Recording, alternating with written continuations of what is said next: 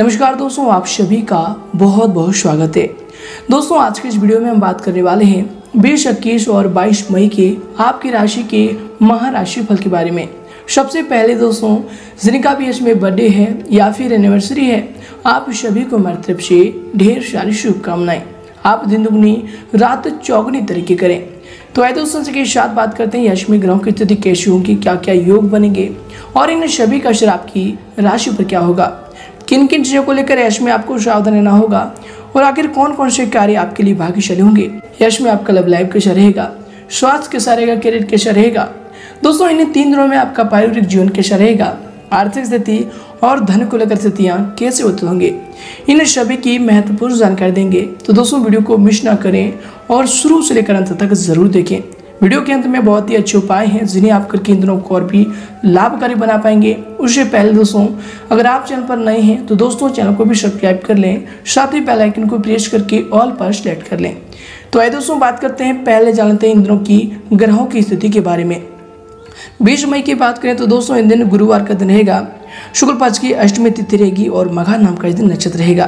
दोस्तों इस दिन योग की बात करें तो व्याघात नाम का योग रहेगा, उसके उपरांत इस दिन हर्षण नाम का शुभ योग प्रारंभ होगा। राहु काल के समय दोपहर के दो बजकर दो मिनट से लेकर शाम के तीन बजकर इकतालीस मिनट रहेगा। दोस्तों, ध्यान रहे राहु काल के समय में आप कोई भी महत्वपूर्ण कार्यों को ना करें। और दोस्तों, चंद्रमा दिन सिंह राशि पर संचार करेंगे। वही दोस्तों, अगले दिन की बात करें तो दोस्तों, ये दिन शुक्रवार का दिन होगा। नौमी तिथि रहेगी और पूर्व फाल्गुनी नाम का दिन नक्षत्र रहेगा। दोस्तों, ये दिन हर्षण योग की बात जो योग है, वज्र नाम का शुभ योग है और यह भी आपके लिए बहुत ही लाभकारी होंगे। राहु का समय दिन सुबह के दस बजकर चौवालीस मिनट से लेकर दोपहर के बारह बजकर तेईस मिनट रहेगा। दोस्तों, चंद्रमा दिन सिंह राशि के उपरांत जो है, कन्या राशि में संचार कर जाएँगे। वही दोस्तों, आखिरी दिन 22 मई की बात करें तो शनिवार का दिन होगा, शनिदेव का दिन होगा, दसवीं तिथि और उत्तरा फाल्गुनी नाम का दिन नक्षत्र हो जाएगा। योग जो है, इस दिन सर्वात सिद्धि नाम का शुभ योग रहने वाले हैं और आखिरी दिन में बहुत ही महत्वपूर्ण योग हैं। राहु का समय सुबह के नौ बजकर पाँच मिनट से लेकर सुबह के दस बजकर चौवालीस मिनट रहेगा। और चंद्रमा इस दिन भी कन्या राशि पर ही संचार करेंगे। तो आए दोस्तों, बात करते हैं तीन दिनों की जो ग्रह नक्षत्रों की स्थिति है और चंद्रमा का यह बदलाव आपकी राशि पर क्या प्रभाव डालती है। चलिए दोस्तों, बात करते हैं पूरे विस्तार से। दोस्तों, इन दिनों में नए कार्यों की शुरुआत करने के लिए दिन जो है शुभ रहेगा। भाई बंधुओं से इन दिनों में लाभ मिलेगा। आर्थिक लाभ के योग हैं। वहीं दोस्तों, इन दिनों में विद्यार्थी अपना अभ्यास जो है सफलतापूर्वक कर सकेंगे। उत्साह तथा स्वास्थ्य यश में जो है बनी रहेगी। नए कार्यों के आरंभ के लिए दिन शुभ है।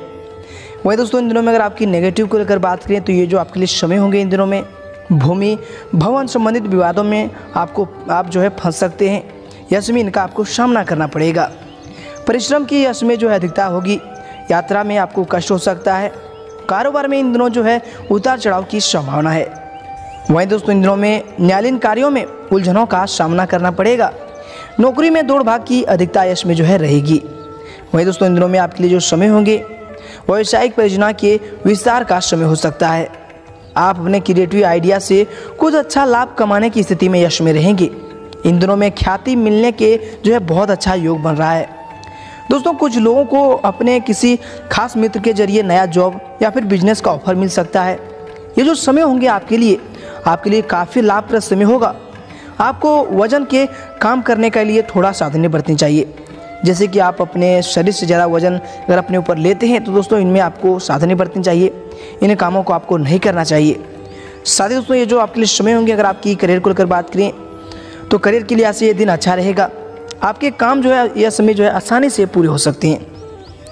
दोस्तों, इन दिनों में ज़मीन जायदाद के मामलों में पढ़ने से आप बचें। अन्यथा कानूनी विवाद में आप फंस सकते हैं। आपका व्यवहार जो है आपको आपका पार्टनर जो है, उसका मन जो है खुश कर देगा। तरक्की के नए मार्ग यश में खुलेंगे।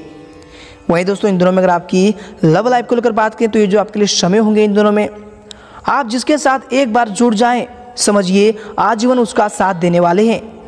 किसी भी हाल में अपने साथी से दूरी बनाकर नहीं रख सकते। जिसके भी साथ वे भावनात्मक रूप से जुड़ते हैं, उनके प्रति वे हमेशा ईमानदार रहेंगे और उनके बिना अपने जीवन को कुछ नहीं मानेंगे।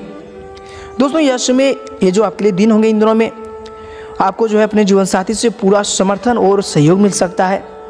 स्वास्थ्य की अगर बात करें तो इन दिनों में आप, आपका स्वास्थ्य के मामले में जो समय होंगे, आपको जो है सितारों का साथ मिल सकता है।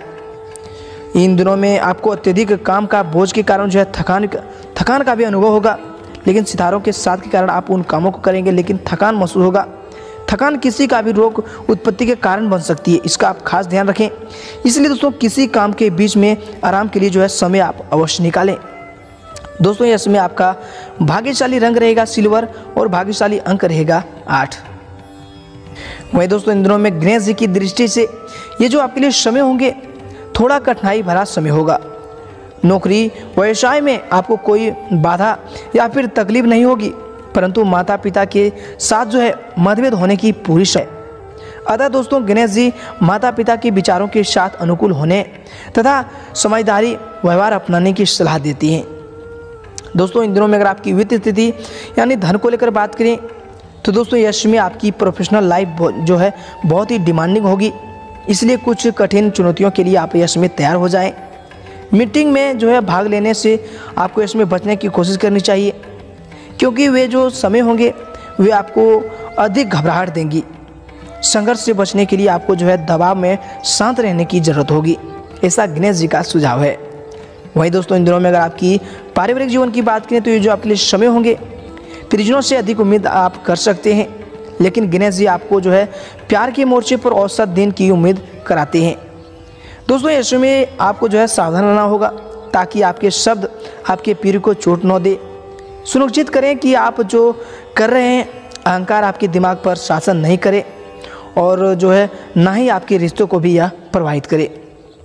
वहीं दोस्तों, इन दिनों में अगर आपकी आर्थिक स्थिति की बात करें तो ये जो आपके लिए समय होंगे, जो आपको कोई भारी खर्च का संकेत नहीं मिल रहा है।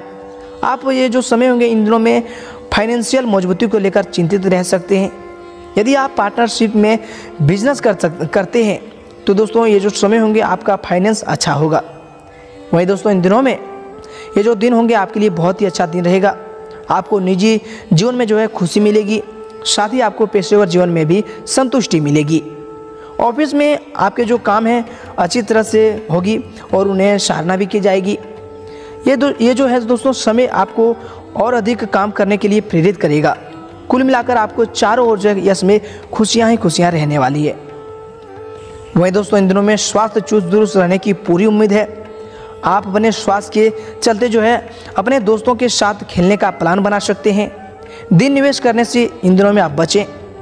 ये जो समय होंगे पारिवारिक आयोजन में, आप सभी के ध्यान का केंद्र रहेंगे। प्यार एक ऐसा जज्बा है, जिसे न सिर्फ़ महसूस किया जाना चाहिए, बल्कि अपने पीढ़ी के साथ बांटना भी चाहिए। अचानक ये जो समय होंगे, आपके लिए काम से छुट्टी लेने का आप प्लान बना सकते हैं और अपने परिवार के साथ समय बिता सकते हैं। क्या आपको लगता है कि शादी महज समझौता का नाम है? अगर हाँ तो आप ये जो समय होंगे, हकीकत महसूस करेंगे। और जानेंगे कि यह आपके जीवन की सबसे अच्छा घटना थी थी। दोस्तों, समय मुफ़्त ज़रूर है, पर बेकिस्मती भी है। इसलिए अपने अधूरे कार्यों को निपटाकर आप अपने आने वाले दिनों के लिए जो है चिंता मुक्त हो सकते हैं। दोस्तों, इन दिनों में आपके लिए जो समय होंगे, लंगड़े अपाइज व्यक्ति की सेवा करने से आपकी जो आर्थिक स्थिति है, वह इन दिनों में सुदृढ़ होगी और आने वाले समय भी आपका बेहतर होगा। तो आए दोस्तों, अब बात करते हैं बहुत ही सरल और महत्वपूर्ण टोटके के बारे में। दोस्तों, आप इन टोटके को अपने जीवन में सुखी रहने के लिए अपना सकते हैं। दोस्तों, बृहस्पतिवार या फिर मंगलवार को सात गांठ हल्दी थोड़ा सा गुड़, इसके साथ पीपल का एक टुकड़ा, इन सबको मिलाकर पोटली में बाँध दें तथा ससुराल की दिशा में फेंक दें तो वहाँ हर प्रकार की जो है शांति व सुख रहता है। दोस्तों, यश में आपको कौन से उपायों को करना चाहिए? दोस्तों, आपको बता दें कि कभी कभी ग्रहों की दशाओं के कारण व्यक्ति की नौकरी अथवा व्यापार में रुकावट आ जाती है। दिखाई देने वाले कारण बहुत होते हैं, लेकिन दोस्तों कहीं न कहीं इन कारणों के पीछे ग्रहों का प्रभाव होता है। ग्रहों का अनुकूल होने पर जीवन में सभी कार्य बनते चले जाते हैं। अगर आपके ग्रह गड़बड़ हैं तो आपकी सभी चीज़ों में रुकावट नज़र आती है। तो दोस्तों, यश में यश में आपको कौन से उपायों को करना चाहिए? तो चलिए दोस्तों, अब बात करते हैं। दोस्तों, यश में आपको किसी भी शनिवार के दिन पीपल का पत्ता धोकर उसे दोस्तों धीप धूप दिखाकर उसे जहाँ अपनी दुकान पर बैठते हैं, उस पर आसन के नीचे रख दें। दोस्तों, इस क्रिया को सात शनिवार तक करें। जैसे ही सात शनिवार हो जाते हैं तो आप इसी सभी पत्तियों को लेकर किसी चौराहे या फिर पानी में बहा दें। दोस्तों, इस प्रकार करने से आपका व्यापार चलने लगेगा और आपके कार्यों में आ रही रुकावटें खत्म होगी। तो दोस्तों, यश में आप इन उपायों को ज़रूर करें। ये आपके लिए भाग्यशाली होंगे। और साथ ही दोस्तों, और इसी अधिक जानकारियों के लिए आप हमारे चैनल को सब्सक्राइब कर लें। वीडियो को अधिक से अधिक लाइक करें शेयर करें। धन्यवाद।